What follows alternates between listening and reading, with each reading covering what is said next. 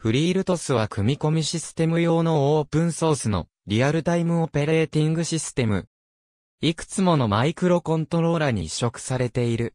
バージョン9までは、例外条項付き GPL の下で配布されていた。例外条項は、カーネルそのものがオープンソースである場合には、ユーザーのコードをクローズドソースにしておくことができるという内容である。Amazon.com に買収された後のバージョン10からは MIT ライセンスを採用している。サポートされているアーキテクチャは以下のようである。フリールトスは小さく単純であるように設計されている。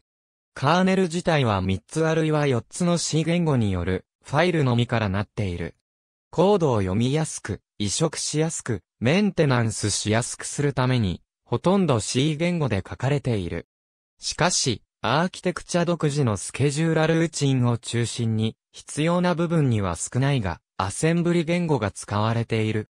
ダウンロードできる配布物では、すでに設定がなされており、すべての移植先に対してのデモンストレーションと、コンパイラが含まれている。これにより、素早くアプリケーションをデザインできる。freertos.org ウェブサイトは、アルタスについてのチュートリアルや、設計の詳細と、様々なマイクロコントローラでのパフォーマンスの比較結果を掲載している。以下が主要な機能である。 FreeRTOS から派生した SafeRTOS と呼ばれるスピンオフしたプロジェクトがある。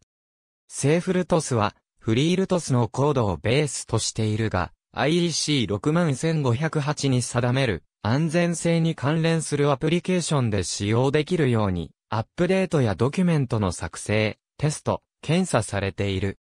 関連する、もう一つのプロジェクトはオープンルトスである。これは、フリールトスのコードベースを元にしているが、ライセンスが異なっている。オープンルトスは、フリールトスから GPL への言及と GPL による実装をすべて取り除いたものである。